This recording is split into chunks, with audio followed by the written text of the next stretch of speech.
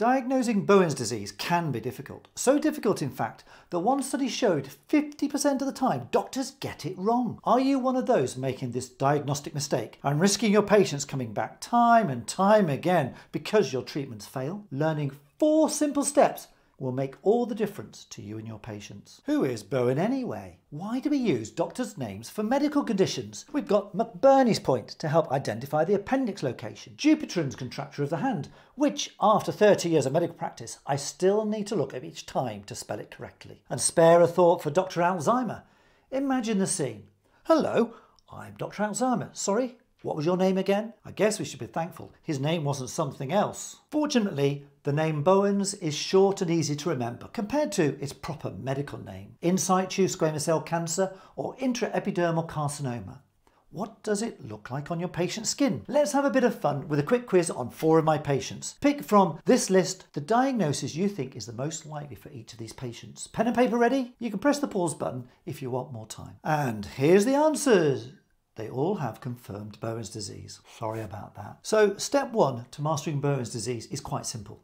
Just consider it. When you're trying to make a diagnosis of any chronic, non-healing, non-itchy, pink red patch, in particular if it's got scale and has a clear well demarcated border, think could this be Bowen? In Bowen's disease, the abnormal skin cells involve the full thickness of the epidermis. Most importantly, these abnormal cells don't breach the basement membrane, otherwise it will have transformed from an in situ squamous cell cancer, or Bowen's, to an invasive squamous cell cancer. It's on the spectrum of skin damage caused by a lifetime accumulation of sun ultraviolet radiation damage. Because of their inbuilt sun protection, people with a skin of colour rarely develop Bowens, and in patients below the age of 30, it's as rare as hen's teeth at a vegan buffet. Found most often in the over 60s, Bowens can appear almost anywhere on the skin, but most commonly on ultraviolet light exposed areas like the head, neck, fingers and hands. But one UK survey reported the majority were on the lower legs. And that's my experience with Bowens in my patients. The vast majority are single, solitary lesions, but several patches can occur at once, especially in patients with immunosuppression, for instance, after a kidney transplant. This is your second step to mastery of Bowens. Know who is at high risk and where on the body you're most likely to find it. What about the dermoscopy of Bowens? Well, you tell me. Here's the dermoscopic photos of my patients from that earlier mini quiz. What do you notice? How many of them have scales? What about the background colour? What about those odd vessel shapes? These are called different names, but you'll often hear them called glomerular. And don't try saying that fast after eating a whole pizza unless you want to see it again. This name is used because they look a little bit like the glomerular apparatus in the kidney. But these vessels in Bowens have nothing to do with the kidney. When starting out in dermoscopy, I often confuse the term glomerular with globular. Am I the only one? A globule is a discrete area larger than a dot, and pigmented globules are very commonly seen in nevi.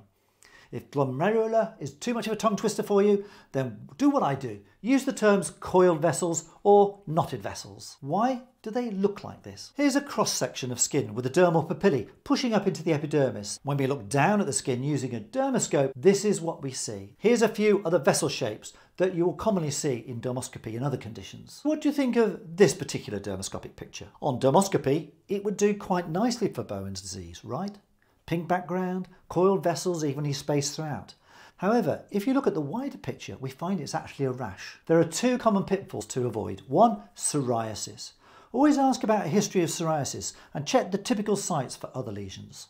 Secondly, varicose eczema can look similar, and that's also found on the legs, a common place for Bowens. It usually itches and should respond to topical steroids and emollients. What if you still aren't sure? Then sometimes histology is needed with something like a punch biopsy. Therefore, step three to mastering Bowens is learning to confirm the diagnosis using dermoscopy, maybe therapeutic trials, and failing that, sometimes a punch biopsy. Note that most consultant dermatologists in secondary care will treat a clinical dermoscopic classic Bowens without requiring histology. Remember this fact, a patch of Bowens has a roughly 5% or 1 in 20 chance of turning into an invasive squamous cell cancer in the patient's lifetime. That means it has a 95% chance that it won't do that in their lifetime. So, do you have to treat Bowens disease when you suspect it? Well, on statistics like that, no. Bear in mind, Bowen's is usually asymptomatic, and the principle of first do no harm is a good starting point. In my very frail and elderly patients, a small patch of Bowen's is usually the least of their worries. Reassurance and monitoring for new changes is a very reasonable option. What if the patient would like treatment? I'm going to share with you my own simple treatment decision making process. It's based on the 2022 British Association of Dermatologists guidelines, which you can download using a link in the video description below. When a patient presents with a skin lesion, the first step is thinking, could this be Bowen's? A clinical assessment will help you decide if this patient is at risk of Bowen's, and a dermoscopy can help you try and confirm the diagnosis. What if you're uncertain? I consider then if it could be psoriasis or eczema and discuss a therapeutic trial trial using a potent steroid cream with my patient. If you do this, ensure you take personal responsibility for the follow up of that patient, perhaps three to four weeks later. If the response to the steroid cream is very poor, it's probably not eczema or psoriasis. Worrying features to concern you are a rapid growth, ulceration, bleeding, a thickened base, and pain. These are much more common in something like a squamous cell cancer. Look at this 12mm scaly patch on this 77 year old lady's neck. It's been growing slowly for three to four months and it was sore. The scale kept dropping off and reforming. It sits on a red inflamed looking base. It could be a wart, it could be a seborrheic keratosis, but you cannot rule out a squamous cell cancer. So I referred her on the cancer care pathway. On excision, it showed that this was actually Bowen's. Or take this this 89 year old lady who had a previous invasive squamous cell cancer removed from her forehead. This red raised bleeding 8mm patch had been growing for only three weeks. Dermoscopy showed some very large coiled vessels with some hemorrhage. You can occasionally get coiled vessels in an invasive squamous cell cancer, and I referred her on the cancer care pathway, and the histology was hyperkeratotic Bowen's. Bowen's are disordered keratinocytes, and the amount of scale can vary. If you're uncertain, Sometimes a punch biopsy can make all the difference to the diagnosis. Otherwise, the first rule of primary care dermoscopy is if in doubt, refer it out. Just make sure you learn from that process. What if you're pretty certain that this is a typical patch of Bowen's? Well, Discuss the treatment options with your patients. Firstly, conservative management. This would involve moisturizers, giving the patient the leaflet and educating them about the condition, and teaching them to monitor the patch, reporting any new changes to you. If you opt for active treatment, then the guidelines say in situ. Squamous cell cancer that is small and at low risk may be managed in primary care by a general practitioner who is capable of establishing a clinical diagnosis and initiating treatment options as per the guidelines. For me, there are two options I think all GPs can learn to use safely. If you're new to treating Bowen's disease, start with these. Firstly, cryotherapy. These are ideal for small patches of Bowen's and a 30 second freeze with a 3mm margin around included as well gives you a good 95% cure rate. Secondly, 5-fluorouracil cream. I tend to prescribe it twice a day for four weeks.